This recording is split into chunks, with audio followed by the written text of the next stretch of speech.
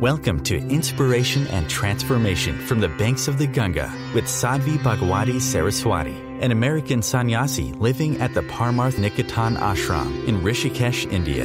Sadhvi is president of the Divine Shakti Foundation, a charitable organization bringing education, vocational training, upliftment, and empowerment programs to women and children. Sadhvi is also Secretary General of the Global Interfaith Wash Alliance and Director of the world famous International Yoga Festival. Join the musings of an American sannyasi as Sadhvi shares the wisdom and teachings of her guru, His Holiness Pujya Swami Chidanand Saraswatiji. Welcome, everyone, to Inspiration and Transformation from the Holy Banks of the sacred Ganga River in the land of Rishikesh, India. When I was studying science 20, 25 plus years ago, and even when I first came into spirituality 21 years ago, there was really this gap science and spirituality. And it was people would say, Oh, you've gone from science to spirituality. And there would be lots and lots of questions about, you know, how do you how do you choose which way to see the world? How do you know what to believe? Is it science or is it spirituality? And what's been so exciting in the last couple decades is to start seeing these two things really merge. And here's here's what I love about it a lot is spirituality's been telling us things for thousands of years. Science is wonderful. Every single thing we have here, ranging from, you know, my my thermal underwear that's keeping me warm and you know how the dual layers they can put them together to make sure that I stay warm to how the microphone works to how the camera works to how the lights work to how every one of us got here I mean, presumably we all used some form of vehicle to get here from wherever we come from most of us airplanes maybe some people trains or buses or cars. But every one of us has arrived here through some vehicle that would not be possible if we didn't have science. The problem comes in with where science claims jurisdiction. So science is able to give us truth, and I'm I'm a proponent of science. I really love science but its jurisdiction is limited to how good its tools are. What I mean by that is science can only understand things that its tools can measure. So, our tools of science are microscopes and telescopes, low powered, high powered, electron. You know, we've got all these different types, but basically, something that makes something minuscule suddenly visible, telescopes that bring something far away into our vision, a variety of systems of measurement. We can measure weight, we can measure height, we can measure density, we can measure all sorts of things. Heat and cold and whatnot. But science's truth is only as good as its tools. And so, for example, there was a long period of time on Earth in which, in schools, in science class, children were taught that the Earth was flat. It's what the tools of science told us at the time. Earth is flat. It's what kids learned. If on a science exam in those days you had written the Earth is flat, the teacher would have marked it correct. There was a long period of time in which science told us that the whole universe revolved around the earth. Then we got better telescopes. And we learned, ah, actually, no. Now, the truth didn't change, but that which science teaches us, that which is published in science books, changes. And it changes based on the tools that science has. So our telescopes were lousy. We thought the earth was flat and that everything revolved around us. Telescopes get better. We develop actually even machines that can go into outer space and look back on the earth. Suddenly our truth changes. Well, the earth hasn't changed. The shape of the earth hasn't changed. The way the universe rotates hasn't changed. But the truth of science has changed. Something that was true a few hundred years ago is no longer true. Now, I don't say that to blame science or criticize science. As I said, I'm a staunch advocate of science, but only to clarify where science's jurisdiction over truth ends. And it ends where the limits of its tools begin. Now, spirituality has used a different tool. The tool of spirituality is we look inward. Now, for most of us, when we begin to meditate, we barely even begin to catch a glimpse of the truth of who we are. We can barely even begin to understand our own reactions, our own emotions. It would be absurdly far fetched for us to even, even begin to assume that through closing our eyes and meditating, we could understand the nature of the universe. And yet, that's exactly what the sages and the saints and the rishis did. They didn't meditate like we meditate. That was all they did. That was their life. As people in this room are experts in everything ranging from, you know, finance to engineering to sports to, you know, whatever all of your your expertise may be. The rishis were experts in spirituality. That's all they did. And so by the time they were getting truth, they had opened up that channel into a, a collective body of knowledge that most of us just don't have access to. It's not that it's not there, it's just we don't have access to it. You know, and a, a good way to understand this is if you look at the visual spectrum, for example, the color spectrum, the rainbow that we see. We begin with red and we go to purple, right? Red, orange, yellow, green, blue. But there's actually colors on the spectrum, ultraviolets, infrareds, that our eyes can't see. Insects can see them. If you've ever seen a picture of how a flower looks like to a bee, it's actually amazing. You know, we think, God, how does the bee know where to go, how to get. Well, on the petals of flowers look like runways for bees. We look at a flower and we think yellow. Whole thing looks yellow to us. Or orange or whatever color our eyes see it. But if you're seeing it from the eyes of bees who can see a much greater color spectrum, there's actually runways on the petals of these flowers directing the bees like airplanes straight into the center. Mosquitoes can see heat. Ever wonder why the mosquito, how the mosquitoes know where to find you? They see heat. If you see a picture of what a human body standing, you know, next to a table looks like to a mosquito, well, the table's all dark. The human body is lit up. And this is why the more you move, the more the mosquitoes come after you. Because as you move, your body's generating heat and it's getting brighter and brighter and brighter for the mosquitoes. Now, I share all of this because to us, what we can see is what there is.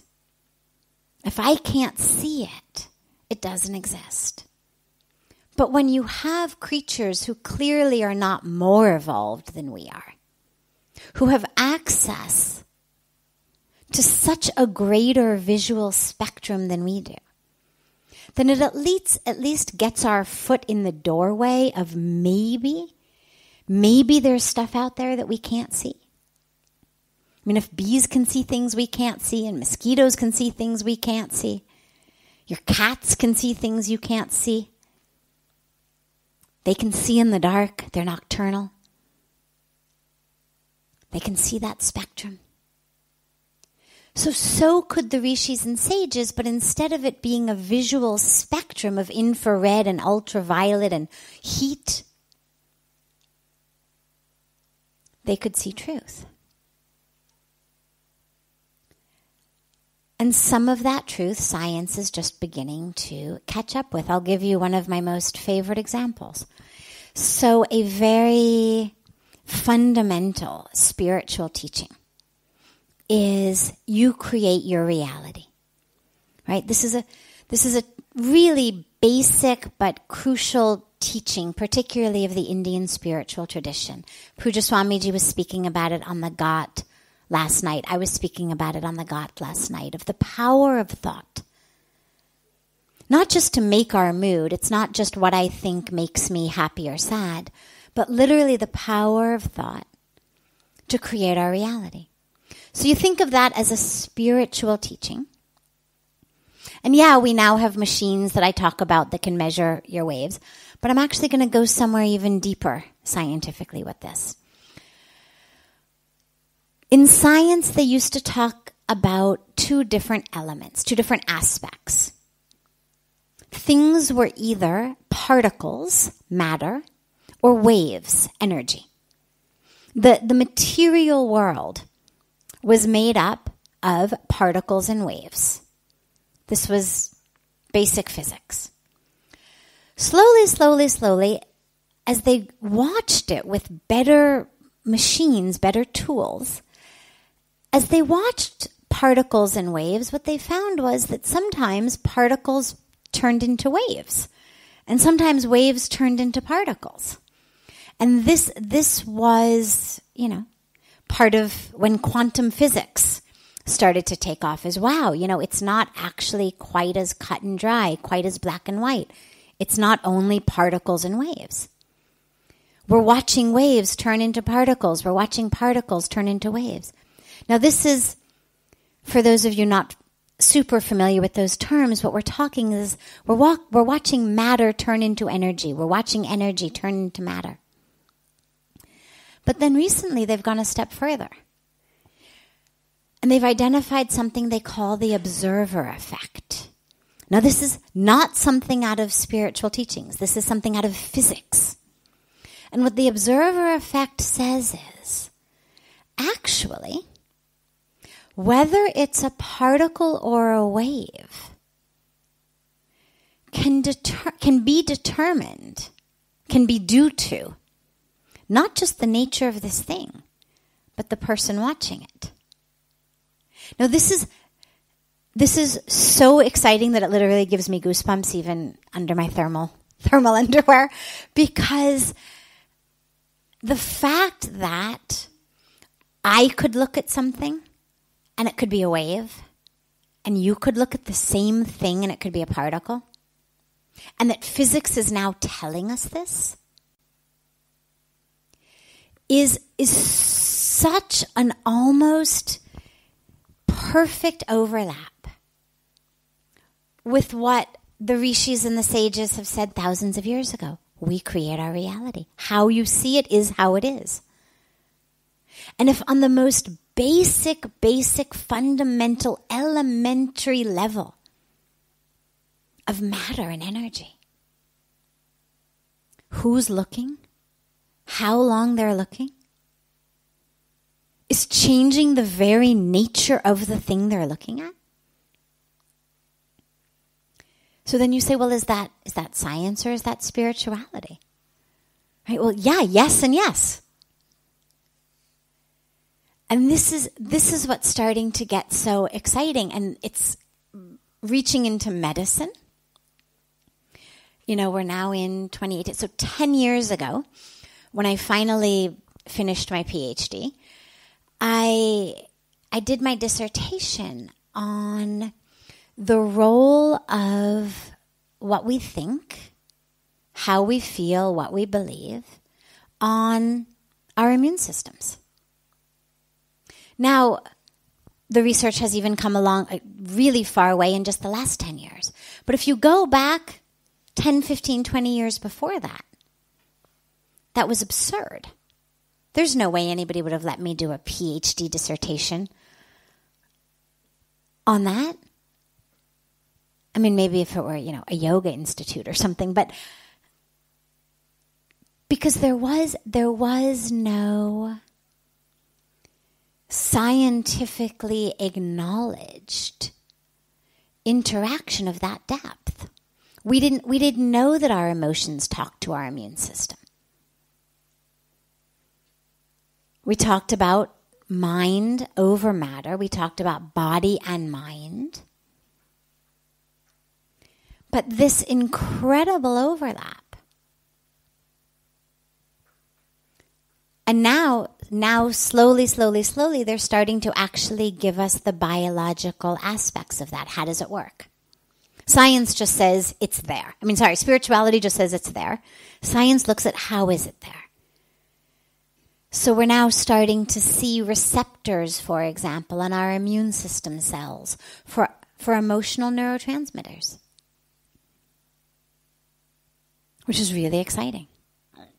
So again, this is this is where they start they start to overlap, but I think the most basic element of it really for me is that as science's tools get better, the discoveries of science are coming closer and closer and closer to telling us what spirituality has been telling us for thousands of years.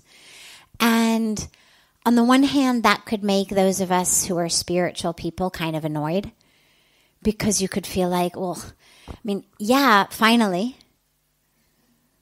right? I mean, these these are these are people who are saying we're discovering this, and this is you know some invention, and over here it's been written thousands of years ago.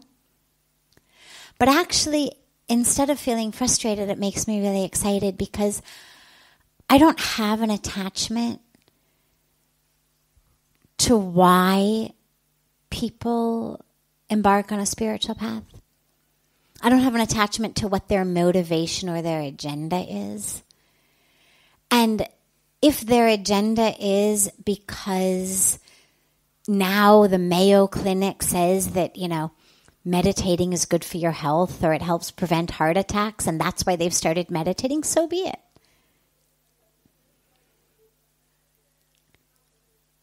There's no there's no scripture that I've heard of that says, you know, you're a better person if you start meditating because you're looking for enlightenment than if you start meditating to prevent a heart attack. Point is meditate, regardless of why you do it. Because even if you get into it to prevent your heart attack, the power of meditation is so much, it's going to take you there. It's like, you know, people ask about yoga all the time. They'll say, well, don't you, doesn't it bother you that people just get into yoga to get fit? Or doesn't it bother you that people do yoga just to lose weight? And I always say, I don't care why people come to yoga. If we limited yoga and meditation to people who came to it because they were already on a spiritual path, we'd find ourselves constantly just preaching to the choir. Because these are disciplines that now the scientific world is starting to say this is good for your health, this lowers blood pressure.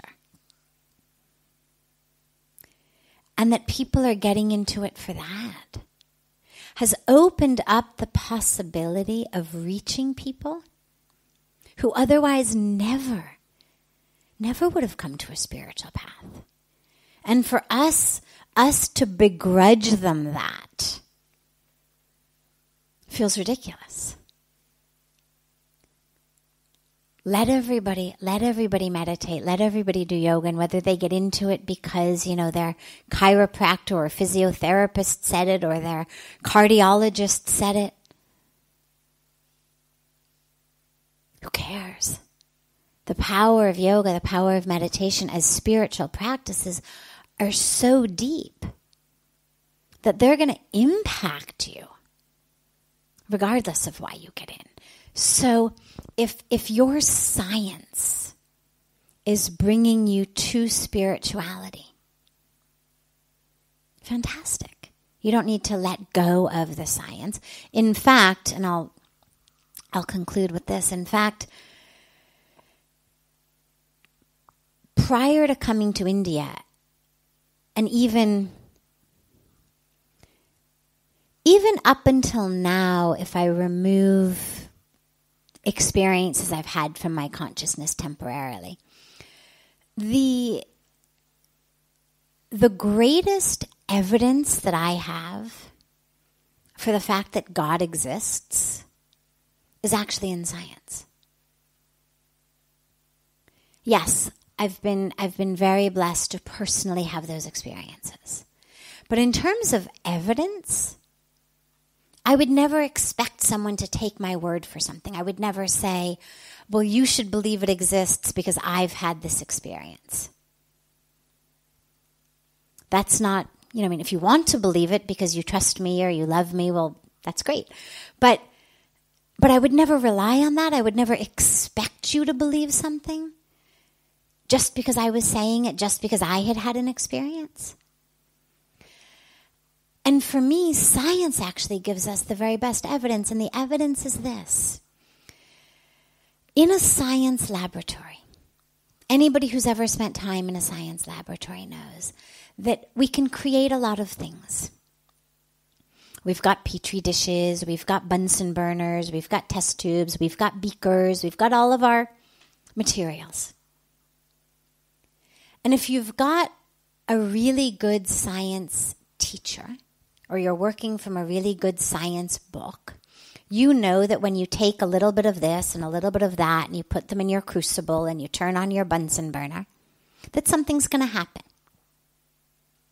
Now, typically, what happens is you get, you know, some smoke or you get a bad smell or you get something like that. But science also, as I began, is what helps us make things. It, you know, it makes my thermals. It teaches us how to make the microphone or make the camera or make the lights. But what science cannot create is life. And if we don't even think about humans and you simply think about a leaf, think about a mosquito, think about an amoeba.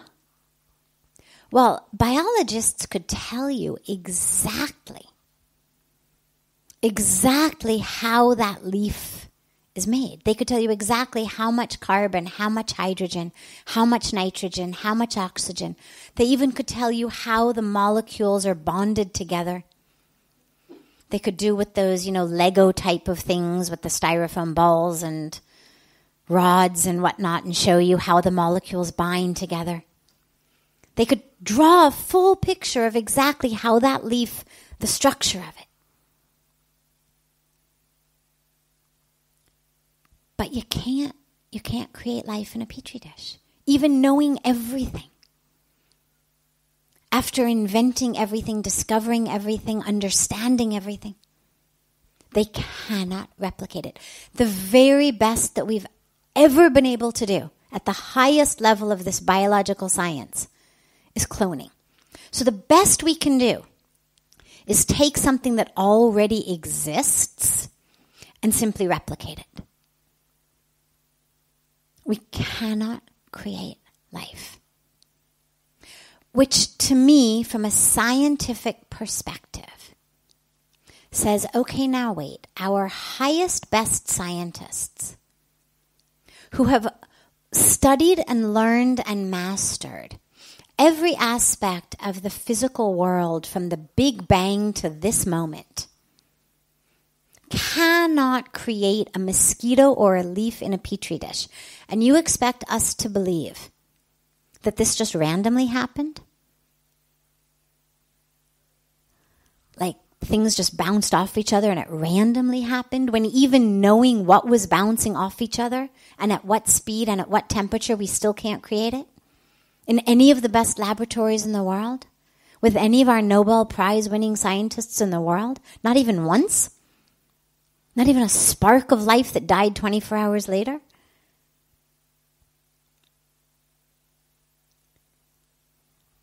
So to me, that for me has always been actually the greatest evidence. Not of science over spirituality or spirituality over science, but of the of the awareness that yeah, there was a big bang. Yeah, there's been evolution. Yes, of course, all of this has, has evolved the way scientists say, but there obviously had to be someone, something who knew very clearly what they were doing. Some capital P planner who put this whole thing in motion. Because otherwise you don't get life. It does life does not come randomly. We get genetic mutations, we get evolution, we get all of that, but you don't get life. And so, if science, in my humble opinion, would simply, simply take a deep breath and simply enjoy and feel proud of all of the domains over which it really has mastered things and really has understood things, and not tried to claim jurisdiction over domains that it cannot understand simply because it doesn't have the tools. There may come a time when science can explain God that our tools are going to get bigger and bigger and better and better and finer and finer and subtler and subtler. There may come a time. But for science to claim jurisdiction over that which its tools haven't yet gotten good enough to see is as ridiculous as when we look back a few hundred years ago at, you know, our, our scientists almost getting hanged for suggesting, merely suggesting, that everything might not actually revolve around the earth that actually the earth might not be the center of the universe. I mean, we look back on that and we laugh. But it's such a perfect example of what happens when science refuses to take that deep breath and just kind of lessen its death grip on reality. To say, well, here's, here's what we know with the tools we have now but we're fully aware of the fact that tomorrow we may end up with better tools and have a completely different take on reality. And then they'd be able, it seems to be able to work more in concert with spirituality, which actually is happening more and more and more as science and spirituality are starting to overlap. They're starting to want to work more. I mean, they're starting to want to put all kinds of, you know, electrodes on the heads of monks who are meditating and see what happens, and you know, um, which to me is great because it means they're they're recognizing that there's actually a, a truth there. You're listening to OTR FM, part of the IOM Radio Network. Being a radio host on IOM FM allows you to build your show on a rich platform with the power of the internet to fulfill your outreach goals and connect with a very specialized and global online audience, unlimited by time and distance. Om Times Radio will provide you with web relevance, a recognizable conscious brand, and with the standard of excellence that has accompanied every single Circle of Hearts Radio is a sanctuary on the airwaves. Join me, Grandmother Elia, in the circle on Sunday, 2 p.m. Eastern, as I share information to both enlighten and nourish your soul. Hi, this is Christina Ricci with RAINN. Every two minutes, another American is sexually assaulted. If you or someone you know has been sexually assaulted, You are not alone. Help is just a call or click away through the National Sexual Assault Hotline. Please call 1 800 656 HOPE, that's H O P E, or visit rainn.org, that's R A I N N dot O R G. Brought to you by RAINN and this station. Welcome back to Inspiration and Transformation. I'm so glad to have you all back here with me. So, yes, as we you've been joining us in satsang for a while, and so yes, when we've spoken about gurus, it's not essential, meaning that for spiritual awakening, for spirit for self-realization, God realization, all I need is myself because God God lives within.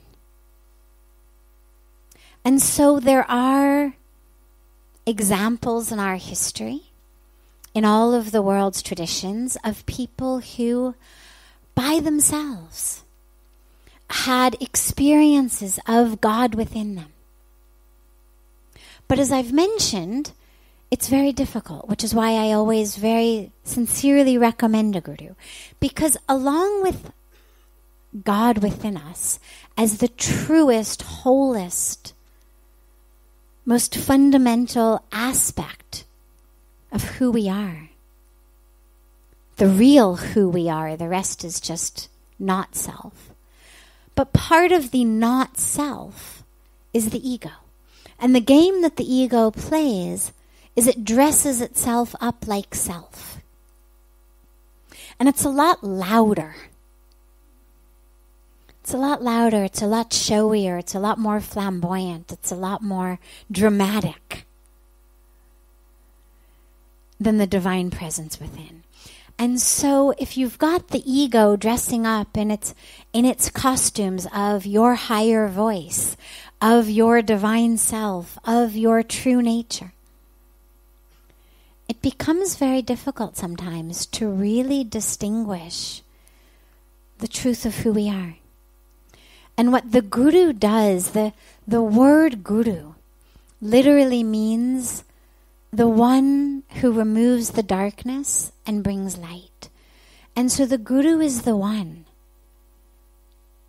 who is the light that removes that darkness of ego and ignorance. And so now bringing it back to your question if we live in Shanghai or Milan, what to do? Well, fortunately, these days, with engineering being the way it is, with technology being the way it is, you actually have access to gurus, to enlightened masters, to the ones who are the light in so many places. It used to be, it really used to be that you had to only be in a few pockets of the world to be in the presence of the masters. And then, of course, you didn't know that they would necessarily be there when you got there. Maybe they had gone off on a pilgrimage. But these days, technology has really brought us, it's made it so easy for us to travel. It's made it so easy for us to access teachings wherever we are. Now, there is nothing better, and I say this from personal experience, there is nothing better than having the guru right there.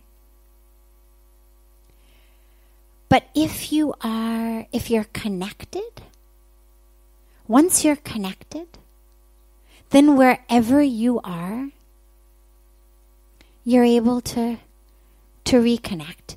You know, one way one way of thinking about it is sort of a funny example, but if you think about it, you know, we we have we used to have and we still have, but now not that many people use them. We used to have a, cordless phones all the time, right? And you'd have the base, and you'd charge the phone in the base, and once it was charged, you could take it anywhere because it was still connected back to the base. Now, if you unplugged the base, yeah, you wouldn't get it in your handset. But once it was charged in the base, you could go roam around with your cordless phone. This is in a in a very sort of light-hearted way. Very much what happens when you connect with the guru. Plug yourself in. That connection stays with you. And of course, because what the Guru is relying on for the transmission of light is not actually phone waves, it's able to transmit much farther than, you know, the 50 feet or 100 feet that you get with cordless phones. But this is where we keep recharging our batteries, where we keep reconnecting and coming back. So just because we may live in some other city, I wouldn't say give up on the notion of a guru. What you're going to have a challenge, a great challenge, but the challenge is going to be to hear the guru within you, which is the same challenge that people have if they have a guru who's no longer in their bodies. You know, people have a guru who leaves the body. Or sometimes people connect with a guru who they, they never even knew in the body. And the guru may have lived hundreds of years ago. But they read a book by the guru or about the guru and connect.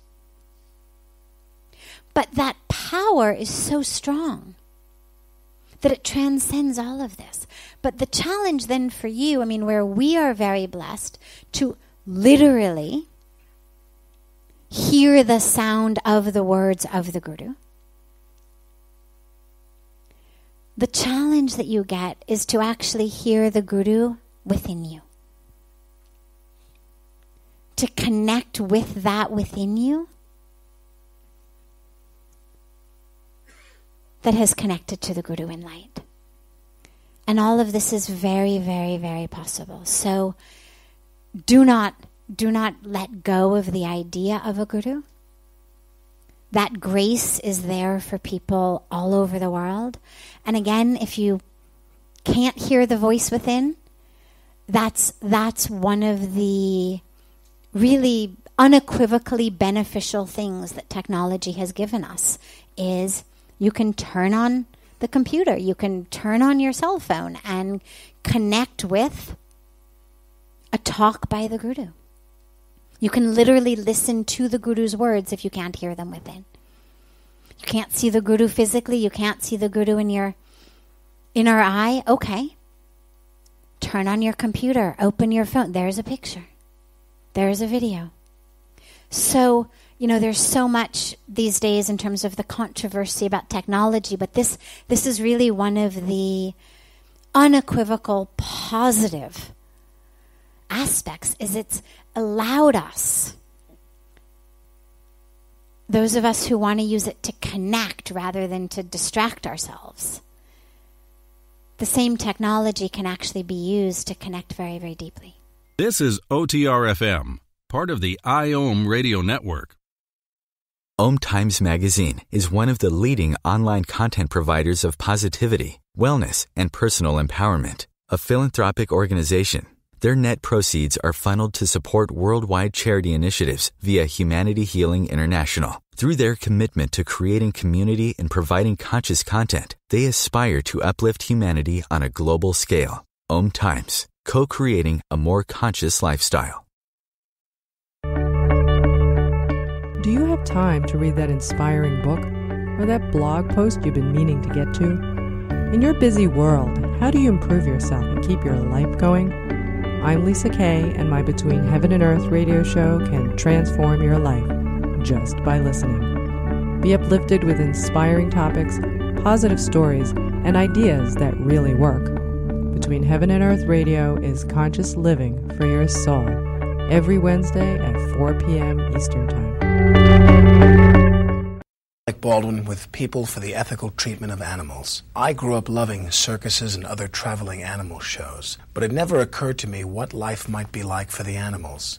Training wild animals to do things they don't understand takes force. Routine discipline with a hook or whip with the heel of a boot shows the animal exactly who's the boss.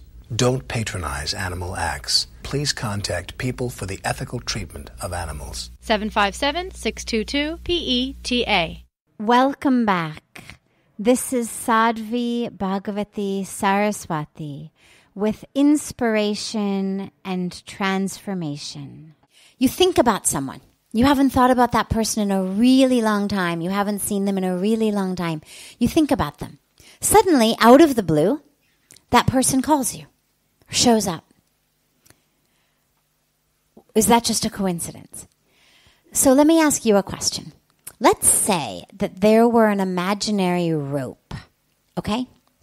A string, a rope. And you were holding on to one end and I was holding on to the other end, okay? Just imagine that you and I each have opposite ends of a rope here, okay? And for a long time, we haven't done anything. We're all we're just moving through our lives with this rope. Maybe it's tied on our wrist or something, and or on our belt loop or wherever it is, and we we don't even remember that there's this string. Then one day, I jiggle the rope on my side. What's going to happen on your side? You feel it, right? You feel the jiggle. So this is this is what happens. We're connected. It's not a coincidence. I jiggle my rope, you feel the jiggle. Now, you may not be able to articulate it as I felt a jiggle because the rope is not physical or tangible. But these are the energetic bonds that hold us together. You know, how many people here are parents? Raise your hand if you're a parent. Okay.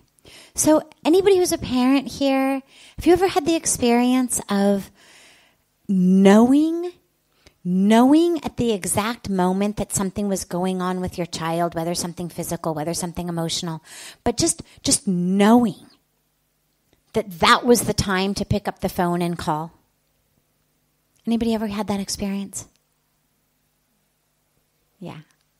So, this happens all the time. It happens with siblings all the time. But interestingly, it happens with twins even more.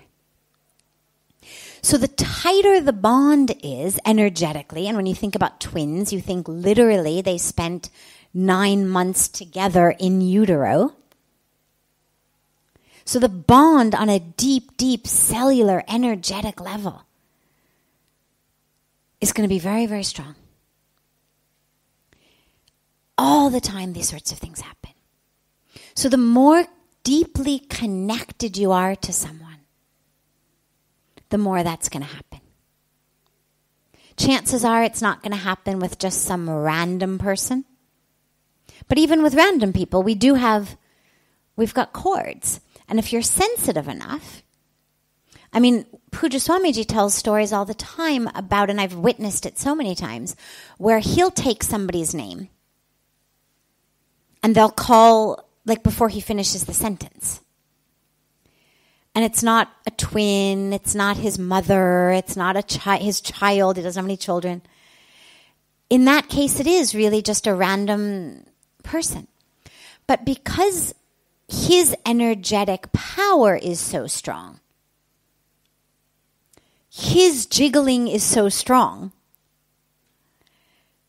that even if the string that connects you isn't that strong, the person on the other end is going to feel it because the jiggling is so strong. That his energy is that powerful. But I think in general, with most of us, it happens much more with people we're really close to. But yeah, this is, we're connected.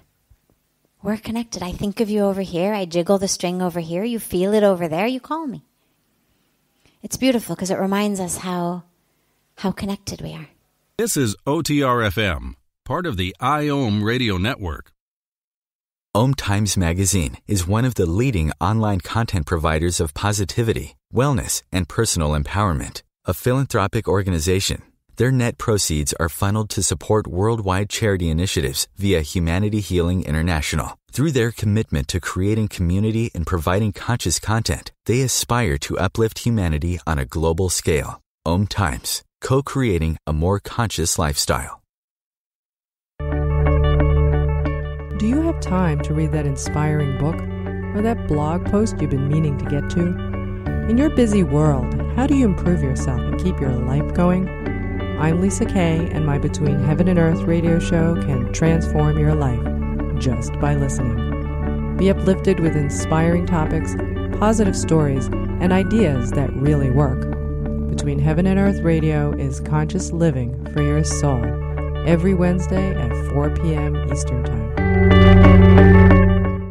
Alec Baldwin with People for the Ethical Treatment of Animals. I grew up loving circuses and other traveling animal shows, but it never occurred to me what life might be like for the animals.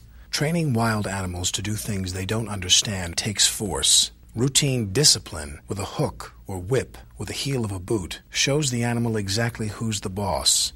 Don't patronize animal acts. Please contact People for the Ethical Treatment of Animals. 757 622 PETA. Welcome back. This is Sadhvi Bhagawati Saraswati with inspiration and transformation. Free will absolutely exists. Absolutely. See, I stood up. Said no. Right? No plans to do that. But you asked. You asked about free will. So I thought, well, let's have a demonstration. Basically, I'm sitting here. Sitting here through the end of satsang.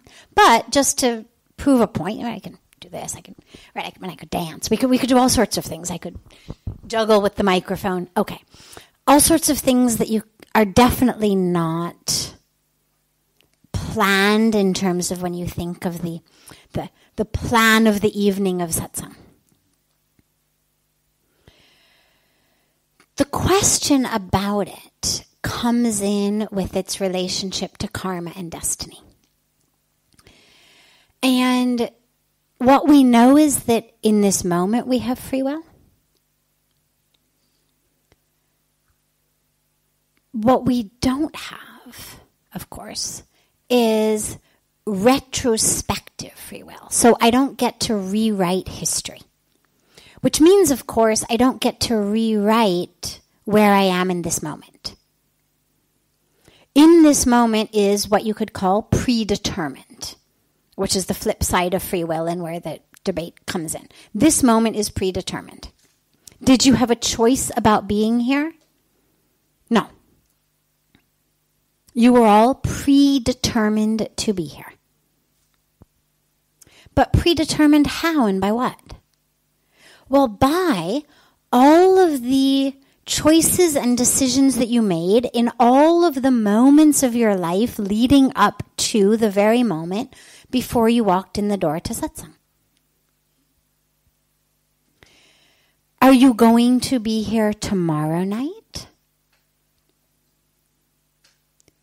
Well, that's based on the decisions you make today. If you get in a bus tonight from Rishikesh to Delhi, no, you're not going to be here with us tomorrow evening. If you decide, oh, I'm here on the banks of Ganga.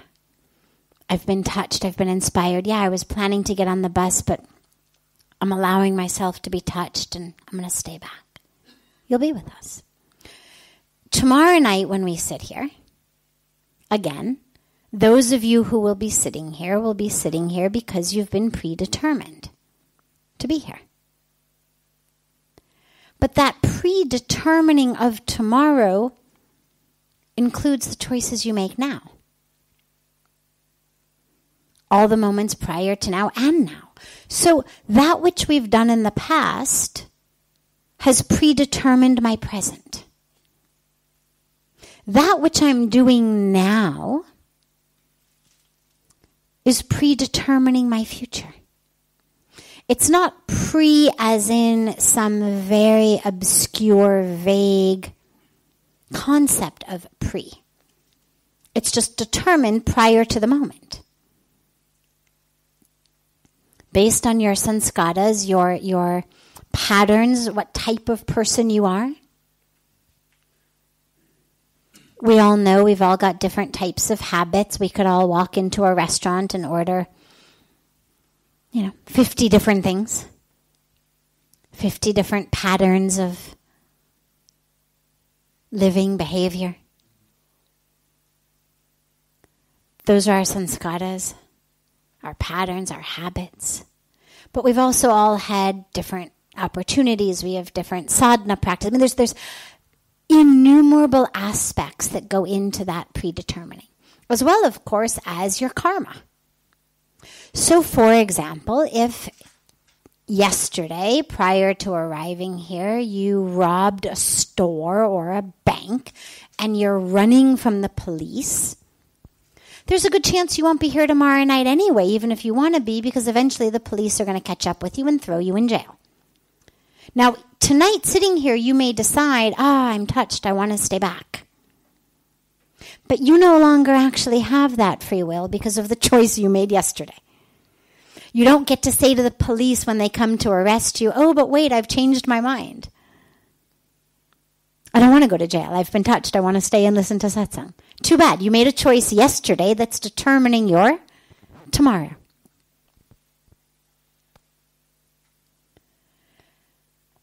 So, some aspects, I mean, it's all predetermined, but some of the pre is long ago some of the pre is immediate.